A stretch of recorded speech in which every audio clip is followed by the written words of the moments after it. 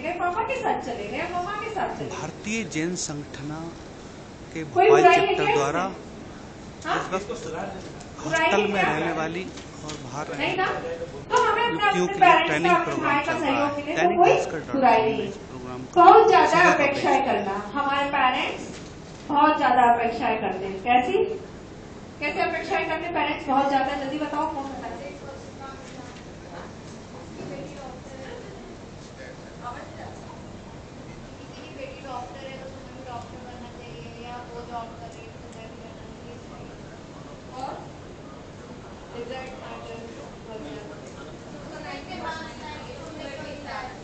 और कैसी अपेक्षाएँ रहती है पेरेंट्स की, और बताइए?